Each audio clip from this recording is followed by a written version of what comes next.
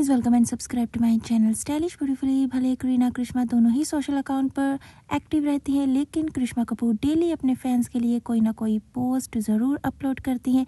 थोड़े दिन पहले कृष्णा कपूर ने पर्पल स्विम सूट में ये पिक्चर अपलोड की थी नो मेकअप लुक की, जिसको काफ़ी अप्रिशिएट किया गया। आज भी उन्होंने ये रेडी होते हुए अपनी एक वीडियो अपलोड की है अपने सोशल अकाउंट पर। इसके अलावा कृष्णा कपूर अपनी फैमिली पिक्चर्स भी बहुत ज़्यादा अपलोड करती हैं। थोड़े दिन पहले गणपति फेस्टिवल में पूरी कपूर फैमिली के साथ उन्होंने ये पिक्चर्स अपलोड की थी, जिसमें वो गणपति फेस्टिवल सेलिब्रेट करती हैं।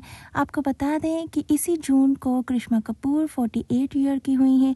लेकिन आप देख सकते हो कितनी ज़्यादा ब्यूटीफुल और कितनी ज़्यादा फिट हैं और बहुत ही ज़्यादा स्टनिंग लगती हैं और ज़्यादातर जितनी भी पिक्चर्स अपने सोशल अकाउंट पर अपलोड करती है कृष्णा कपूर वो no makeup no filter looks होती हैं, जिसके कारण उन्हें और भी ज़्यादा अप्रिशिएट और नेचुरल ब्यूटी बोला जाता है।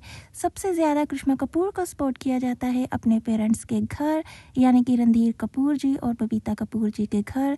थोड़े दिन से रणधीर कपूर जी की तबीयत थोड़ी ठीक नहीं थी, वो हॉस्पिटल भी एडमिट थे और जब वो डिस्चार्ज होकर घर आए तो कृष्णा कपूर कंटिन्यूसली ही उनसे मिलने जाती थी। यही नहीं, कृष्णा कपूर जब कहीं वेकेशन पर भी जाती है तो उधर की भी ब्यूटीफुल मोमेंट्स मेमोरेबल मोमेंट्स अपने फैंस के साथ शेयर करती हैं और उन्हें इंस्टाग्राम पर काफ़ी ज़्यादा लोग फॉलो करते हैं, क्योंकि वो बहुत ज़्यादा एक्टिव रहती हैं।